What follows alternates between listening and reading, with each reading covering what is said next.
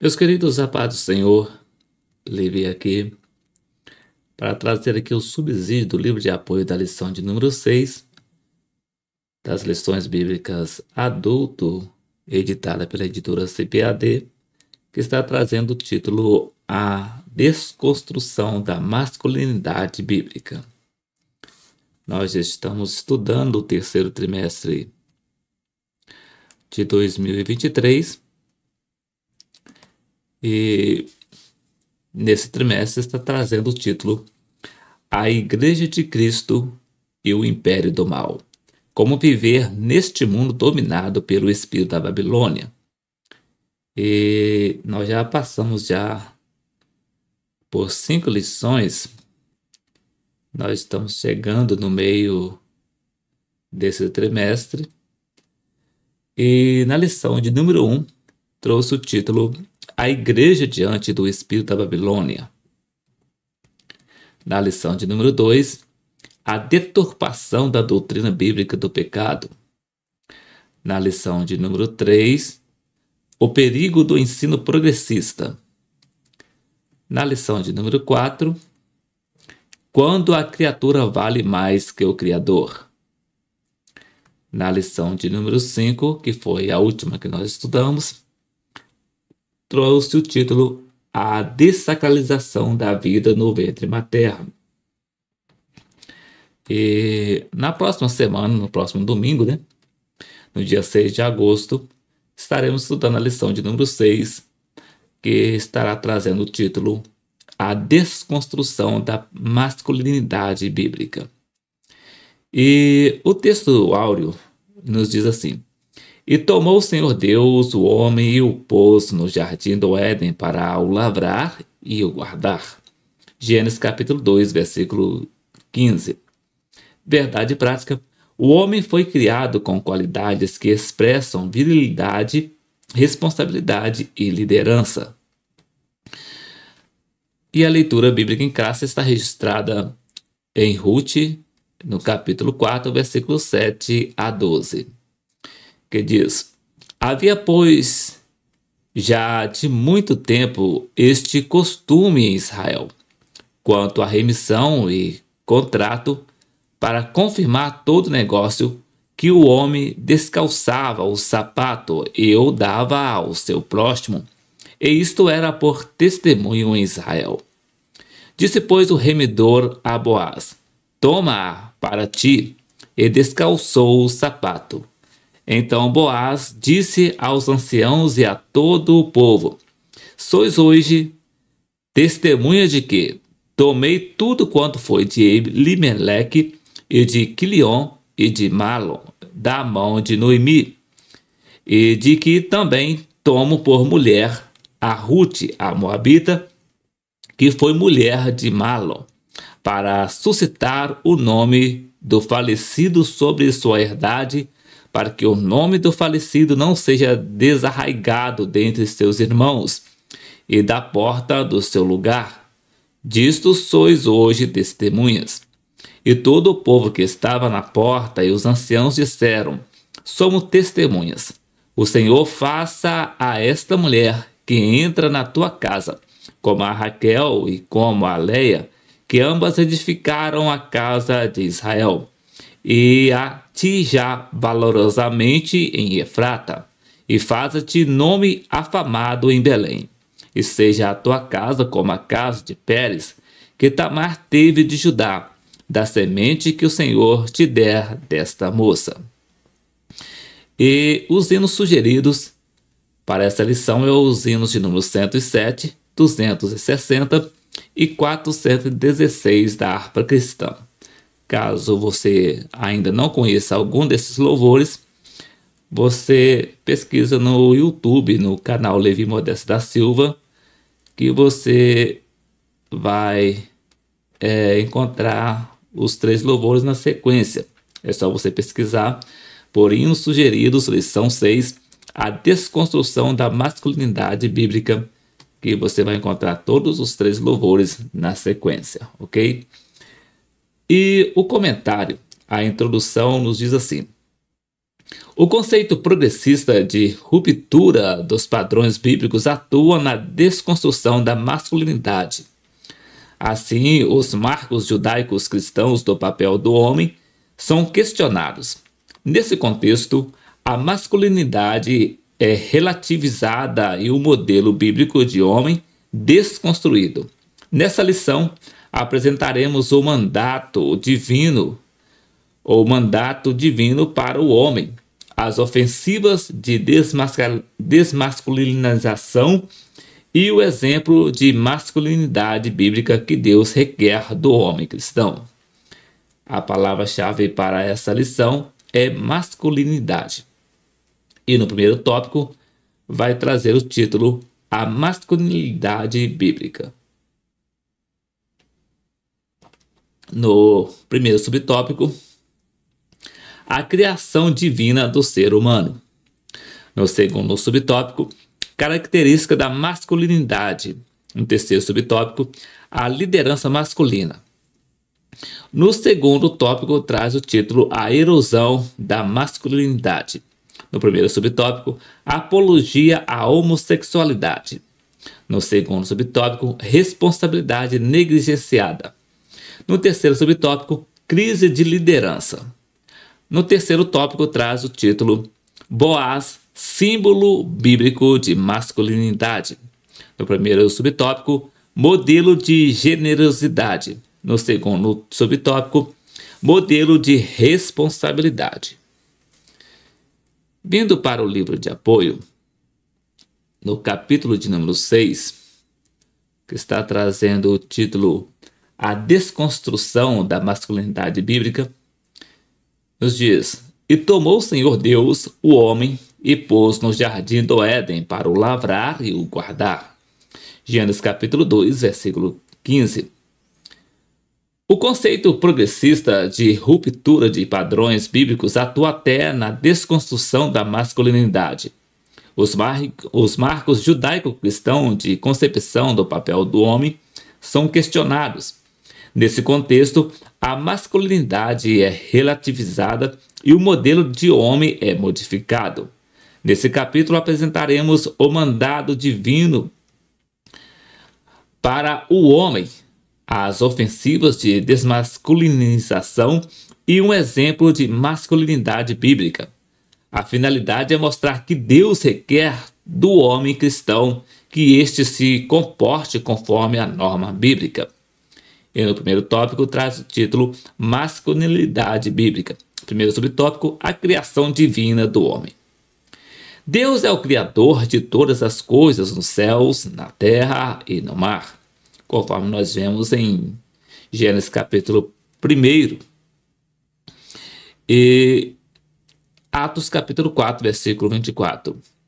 As escrituras registram que ele criou o ser humano e definiu-o pelo sexo, macho e fêmea, homem e mulher, conforme nos registra Gênesis capítulo 1, versículo 27. Essa diferenciação visa ao complemento mútuo da união conjugal e ao desempenho dos papéis divinamente designados a cada um. Desse modo, pode-se afirmar que nenhuma outra criatura foi feita como o ser humano. A teologia sistemática da perspectiva pentecostal, ao descrever a origem da raça humana, enfatiza: os textos bíblicos mais preciosos indicam que Deus criou o primeiro homem diretamente do pó, úmido da terra. Não há lugar aqui para o desenvolvimento paulatino de formas mais singelas de vida ou em outras, outras mais complexas, tendo o ser humano como ponto culminante. Em Marcos capítulo 10, versículo 6, o próprio Jesus declara: Desde o princípio da criação, Deus os fez macho e fêmea. Não pode haver dúvida quanto ao desacordo do evolucionismo com o registro bíblico. Nessa direção, a teologia pentecostal enfatiza que a teoria da evolução não passa de um arranjo teórico para explicar cientificamente a origem do homem e de todas as coisas, visando desacreditar a Deus e afastar o homem do seu Criador. Nossa declaração de fé ratifica que Deus é o Criador do universo, de todas as coisas que há nos céus e na terra, visíveis e invisíveis, e de maneira especial os seres humanos por um ato sobrenatural e imediato, e não por um processo evolutivo. Conforme nós vemos exemplos na Bíblia, em Deuteronômio capítulo 6, versículo 4, Mateus 28, versículo 19, Marcos capítulo 12, versículo 29, Gênesis capítulo 1, versículo 1 e capítulo 2, versículo 7, Hebreus capítulo 11, versículo 3 e Apocalipse capítulo 4, versículo 9. No relato de Gênesis, destaca-se o uso da expressão conforme sua espécie, no ato da criação de toda a erva do campo e das árvores. E na criação de todos os animais irracionais, em Gênesis capítulo 1, versículo 20, 21, 24 e 25. O destaque está na segurança observável da natureza. Trevo produz trevo, trigo produz trigo, etc. E assim foi, diz o texto bíblico. E até hoje continua sendo assim, uma vez que as coisas criadas não seguiram um molde. Ratifica-se que a erva do campo os peixes, as aves e todos os outros animais foram produzidos segundo a sua espécie. Porém, ao criar o homem, Deus poderosamente o fez olhando para si mesmo, isto é, para a sua própria imagem e semelhança, conforme nós vemos em Gênesis capítulo 1, versículo 26. O ser humano não é meramente um animal racional, mas um ser espiritual, por consequente, o ser humano é considerado a coroa da criação. Segundo subtópico: característica da masculinidade. As ciências sociais apresentam a masculinidade como uma construção cultural. Afirma-se que tanto a masculinidade como a feminilidade são socialmente construídas que os papéis dos homens e das mulheres são o resultado de valores e costumes transmitidos e impostos por meio de um longo processo de doutrinação e socialização. Desse modo, alegam ser necessário rever e alterar a função do homem como ser social. Em vista disto, Stuart Scott avalia na história ocidental mais recente, o, relativis o relativismo crescente, a crença de que não existe o padrão absoluto e o individualismo resultante, só eu sei o que é certo para mim, tem exercido forte impacto no conceito dos gêneros. Tal mentalidade sem absoluto significa que cada pessoa vive para com, por conta de sua própria sabedoria em relação à masculinidade. Em consequência disso, há grande relutância em se fazer qualquer afirmação a respeito do que é a verdade masculinidade, a verdadeira masculinidade. De outro lado, as escrituras revelam um conjunto bem definido de características do papel do homem na história. Ao criar o homem, Deus confiou duas tarefas primárias e essenciais a ele. E tomou o Senhor Deus o homem e o pôs no jardim do Éden para o lavrar e guardar, conforme vemos registro em Gênesis capítulo 2, versículo 15. Esses dois termos, cultivar e guardar, resumem o encargo divino para o comportamento masculino. Aqui o decreto do Senhor era que o homem fosse o provedor da sua família e o protetor da criação. Scott afirma que, para cumprir o papel de provedor, o homem deve evidenciar características como, por exemplo, diligência, envolvimento pessoal e atitude de servo. Ele ainda acrescenta que as qualidades de um bom protetor são coragem, ousadia, força física e espiritual e vigilância. Desse modo, a função de provedor e protetor é própria da natureza do homem. Assim sendo, Paulo ratifica que cabe ao homem proteger a sua esposa e a sua família, bem como lhes prover uma vida digna, conforme vemos Paulo mencionando em Efésios capítulo 5, versículo 28 a 30. Ressalta-se que a masculinidade ama e cuida da mulher e que o machismo inferioriza a e desonra. Nesse aspecto, a Bíblia ensina o homem a tratar a mulher com dignidade, conforme nós vemos em 1 Pedro capítulo 3, versículo 7. Terceiro subtópico. Deus confiou ao homem a responsabilidade da liderança. A aptidão para liderar implica em capacidade intelectual adequada para argumentar, organizar, planejar, avaliar e fazer escolhas certas em todo o tempo. Na Bíblia, o princípio da liderança é apresentado na seguinte ordem: Deus é a cabeça de Cristo, Cristo é a cabeça do homem e o homem é a cabeça da mulher, conforme vemos em 1 Coríntios capítulo 11, versículo 3. Stuart Scott é, argumenta: Cristo é o retrato perfeito de liderança. Aquele que o segue precisa saber quando e como tomar decisões piedosas e sábias. Isso só acontece quando há liderança. O homem e o marido, segundo os critérios de Deus, não podem fugir de decisões, abusar do privilégio de tomar decisões ou tomá-las de maneiras místicas. Não obstante, o movimento feminista de viés neomachista considera esse modelo como um sistema opressor do homem para com a mulher. Argumenta-se que o texto bíblico promove profunda doutrinação de inferioridade da mulher e que o, que o modelo da, de família patriarcal, liderança confiada aos homens, adotado nas escrituras é essencialmente machista. Gerda Lerner questiona o relato bíblico do seguinte modo: as metáforas de gênero, gênero mais fortes da Bíblia foram as da mulher, criada a partir da costela do homem, e de Eva, a sedutora, fazendo com que a humanidade caísse em desgraça. Por mais de dois mil anos, isto é citado como prova de subordinação da mulher como castigo divino.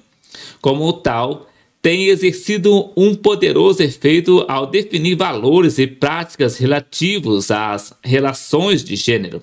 Embora se espere que as interpretações de um composto poético, mítico e folclórico, como o livro dos Gênesis, variem para se ajustar às necessidades do intérprete. Deve-se notar que a tradição da interpretação é predominante patriarcal. Apesar desse falacioso argumento, Paulo revela que o homem deve lidar, liderar a sua família do mesmo modo como Cristo lidera a igreja, conforme menciona Efésios capítulo 5, versículo 29. Uma vez que Cristo entregou-se pelo bem-estar da igreja, a liderança masculina requer até a prática de alguns tipos de sacrifício. Nesse sentido, no exercício da liderança, o homem deve evidenciar atributos tais como força, sabedoria, coragem, amor e respeito mútuo. Como vemos exemplos em Juízes capítulo 6, versículo 14, segundo as Crônicas capítulo 1, versículo 10, Neemias capítulo 6, versículo 11 e João capítulo 15, versículo 13 a 15. Ratifica-se que homens e mulheres são iguais perante Deus, mas que lhes foram confiadas funções distintas. Segundo tópico: a erosão da masculinidade. Primeiro subtópico: apologia à homossexualidade. Em tempos pós-modernos, a ideologia de gênero faz contínua investida de legitimação da prática da homossexualidade. Esse conceito ignora as características físicas e biológicas e alega que o ser humano nasce sexualmente neutro. Essa ideologia também é conhecida como ausência de sexo. Nessa concepção, invalidam a criação divina da raça humana como ser binário, masculino e feminino, como mencionado em Gênesis capítulo 1, versículo 27.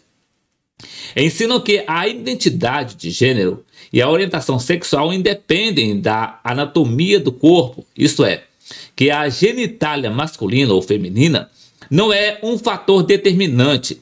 Assim, não aceitam que os órgãos do sistema reprodutor humano sirvam de parâmetro para a sexualidade. Em consequência, a sexualidade antinatural, ou seja, contrária à natureza, é ideologicamente incentivada. É, e Paulo já falava acerca dessas coisas em, primeira, em Romanos capítulo 1, versículo 26 e 27. Contrapondo essa ideia, Robert Ganel esclarece, tendo em vista o significado de, contra, de contrário à natureza, para Fissing e de expressões comparáveis usadas por escritores judeus do período para designar o intercurso homossexual, o sentido da expressão em Paulo é claro. Em um linguajar mais direto, Paulo, na prática, defende que até mesmo os pagãos que não têm acesso algum ao livro de Levítico deveriam saber que o erotismo homossexual é contrário à natureza, porque os órgãos sexuais básicos do homem e da mulher se encaixam, o que não acontece com os de duas mulheres ou dois homens.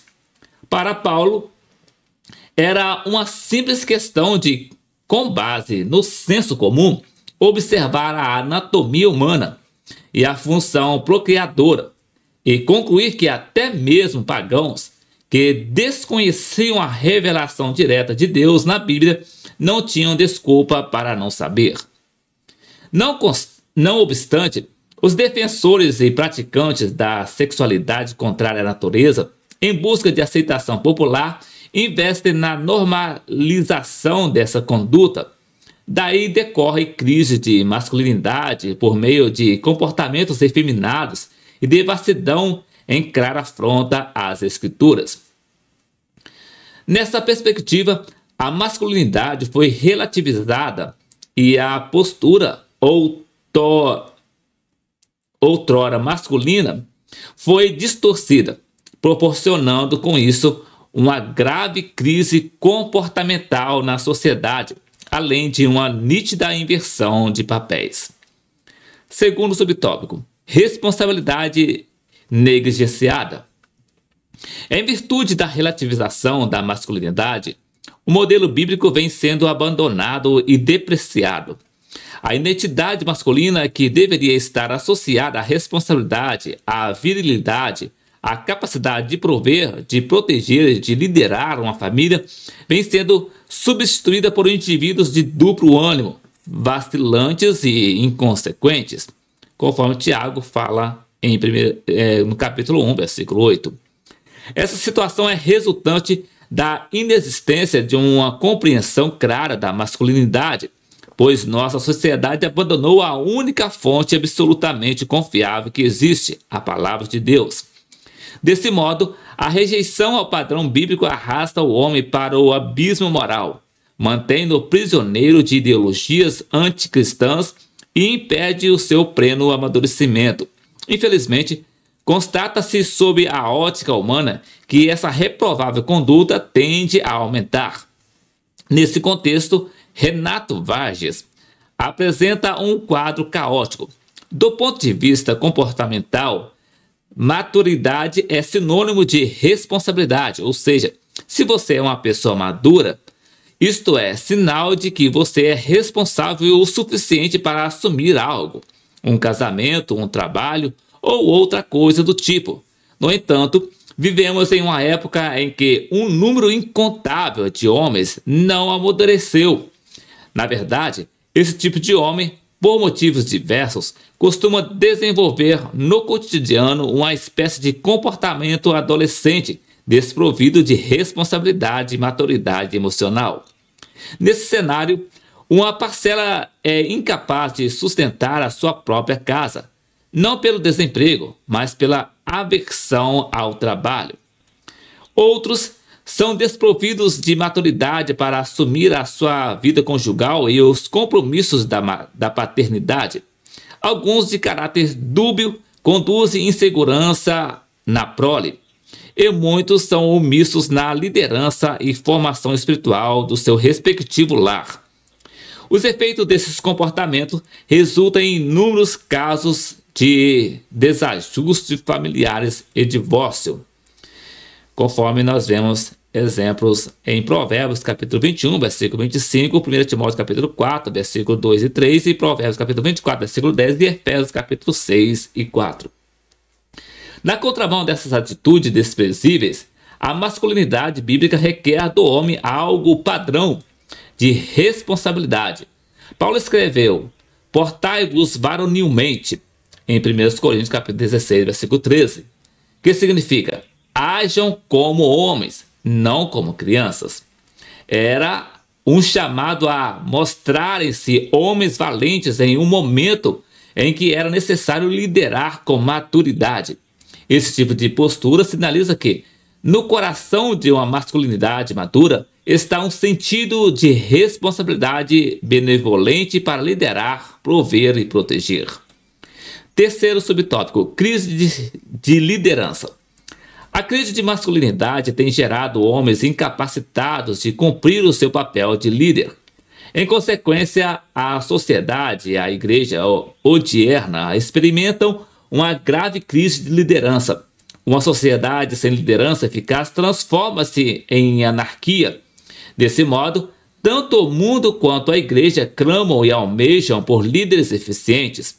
Como já observado, em tempos pós-modernos, multiplicam-se os desafios para uma liderança nos moldes bíblicos. Entre os obstáculos a serem vencidos, destacam-se o relativismo cultural que despreza as leis divinas e condiciona a verdade, a consciência humana, que considera tudo igualmente válido e despreza os valores absolutos. O patrulhamento ideológico que desqualifica quem pensa diferente e o cerceamento da liberdade de expressão por meio das, gran das grades do politicamente correto. Somado a tudo isso, muitos homens estão acovardados e negligenciam o seu papel de líder pelo temor de serem mal compreendidos ou de serem alvos da cultura do cancelamento. Contudo, um líder autêntico não vacila por causa da opinião popular. Se determinada posição é bíblica, um bom líder não pode hesitar simplesmente porque outros não aprovam. No período do profeta Ezequiel, no anos de 593 a 571 a.C., o Oriente Médio passava por uma crise internacional. Israel e Judá encontravam-se no exílio. Tinham sido conquistados pelos seus opressores como punição dos seus pecados contra o Senhor Deus. As nações estavam sendo massacradas pela corrupção desenfreada, pela usura contumaz, pelo suborno insolente, pelas predições mentirosas, pela opressão implacável, pela avareza injustificada e pela violência reinante, conforme nós vemos em Ezequiel capítulo 22, versículos 2 a 13. Ao revelar-se ao profeta, o Senhor descreveu que uma das causas da destruição iminente era a crise de liderança. Deus procurava alguém entre os líderes para trazer suspensão do julgamento contra o pecado, alguém para reverter a situação, um homem que estivesse tapando o muro e estivesse na brecha perante mim para essa terra, para que eu não a destruísse, mas ninguém achei, conforme nós vemos em Ezequiel capítulo 22, versículo 30. Nesse caso, a busca divina foi em vão e o juízo tornou-se inevitável. Por isso, e apesar disso, Deus ainda procura esse tipo de homens para destacar no horizonte da história humana homens de verdade que possam liderar pelo paradigma da masculinidade, isto é, segundo o modelo preconizado das Escrituras, conforme nós vemos em 1 Reis, capítulo 2, versículo 2.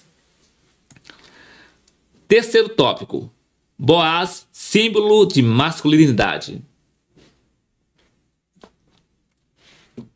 Primeiro subtópico: modelo de generosidade. A generosidade relaciona-se com a benignidade e a bondade. A benignidade é considerada como uma virtude que nos dá condições de tratar os outros com carinho e meiguice. A Bíblia fala da benignidade de Jesus em 2 Coríntios capítulo 10, versículo 1. É dessa fonte que o Espírito Santo transmite a benignidade como fruto. A benignidade, de igual forma, indica agir com delicadeza, com benevolência, com relação aos outros, como Deus fez conosco. A bondade descreve aquele que é bom em caráter, moralmente honesto e agradável a Deus e ainda representa generosidade de coração. Retrata as obras e atos de bondade em favor do próximo. Refere-se à bondade em ação que se expressa em atitude de ternura e compaixão com o outro. A bondade identifica aquele compromisso firme para o benefício dos outros. Reflete a, o caráter do seu Criador e, desse modo, é santo, justo e bom, conforme nós vemos em Romanos capítulo 7, versículo 12. Por evidenciar essas virtudes, apresentamos Boaz como modelo de homem generoso. Boaz era parente de Elimeleque, o falecido esposo de Noemi, conforme nós vemos a referência em Ruth capítulo 2, versículo 1. Num período de quase 10 anos, Noemi perdera o marido e os filhos, conforme vemos registro em Ruth capítulo 1, versículo 3 a 5.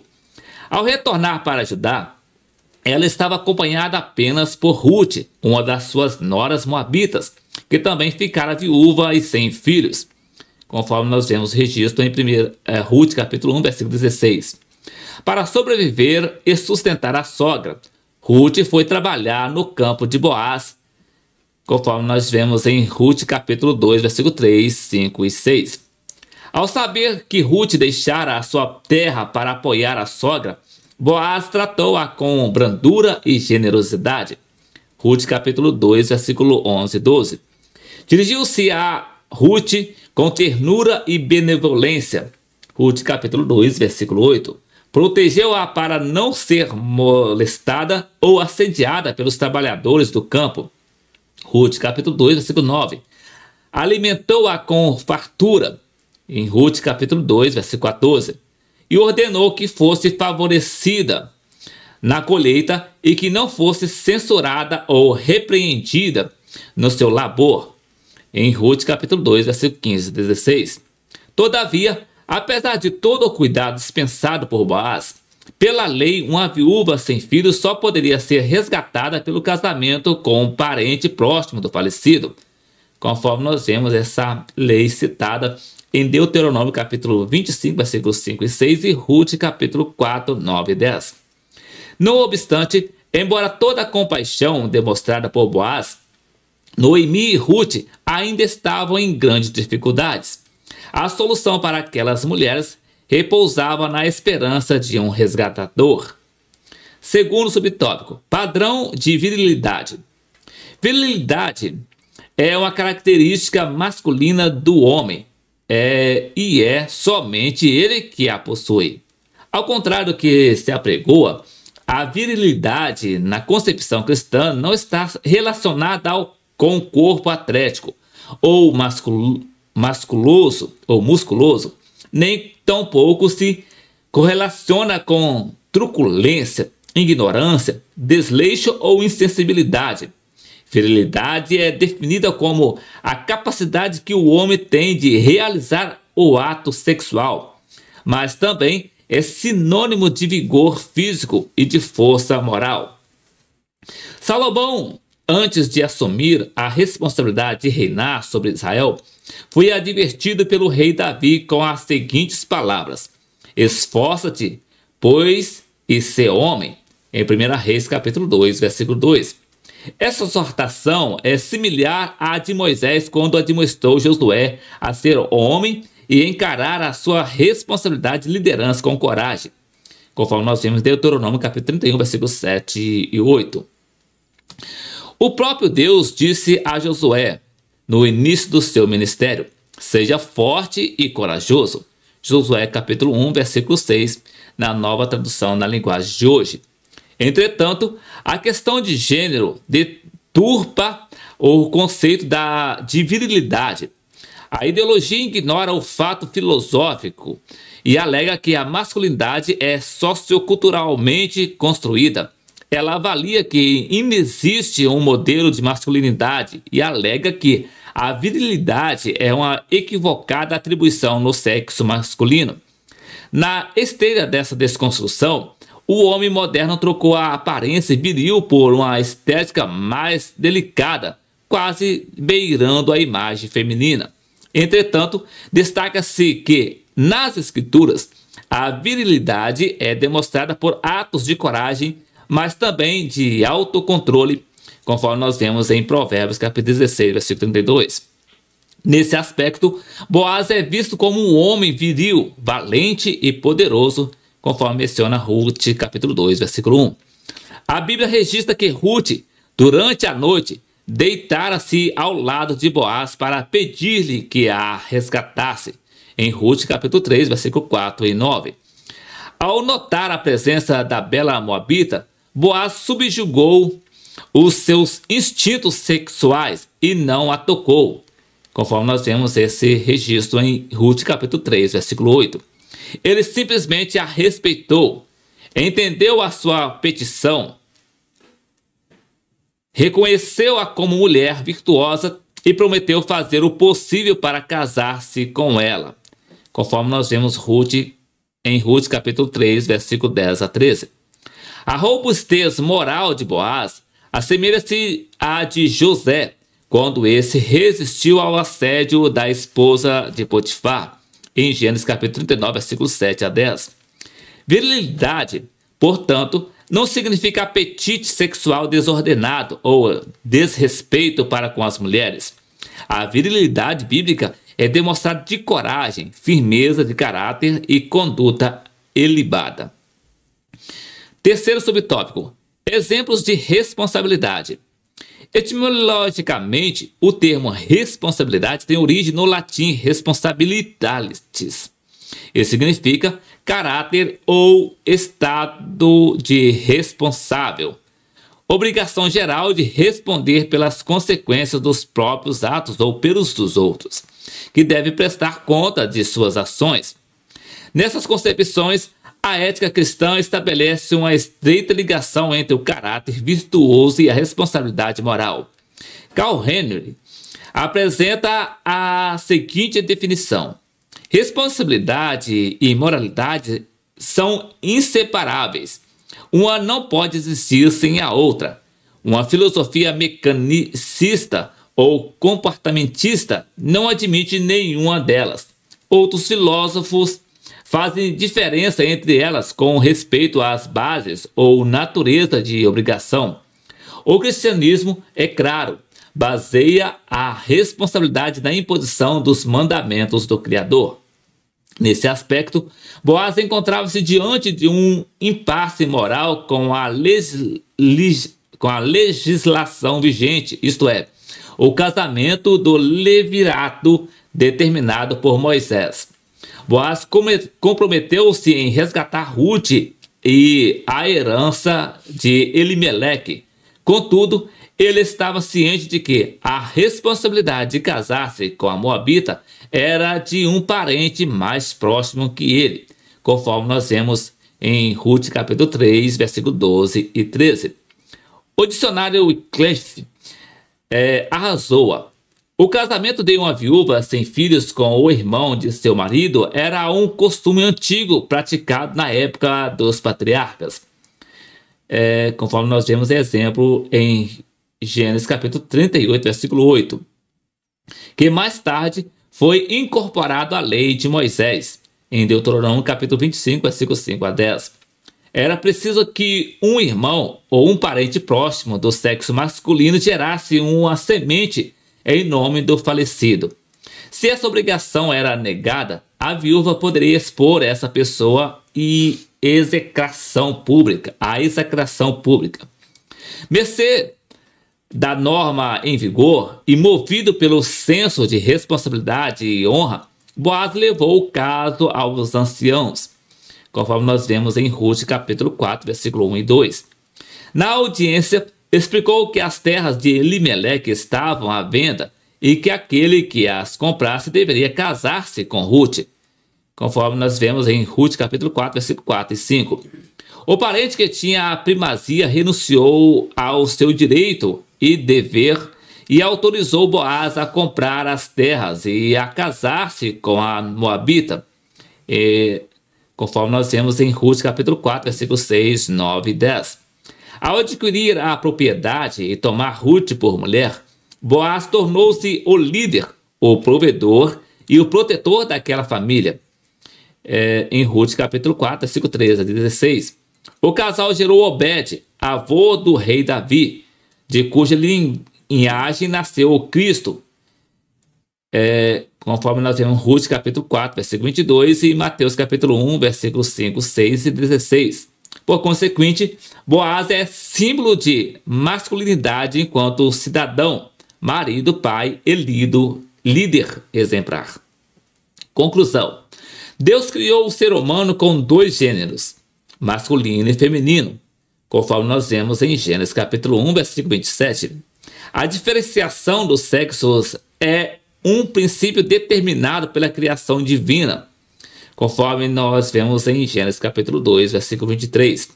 A masculinidade é um conjunto de atributos e funções inerentes ao homem. A desmasculinização des, de, decorre da inversão dos papéis do homem na sexualidade, na liderança e na prática dos seus deveres.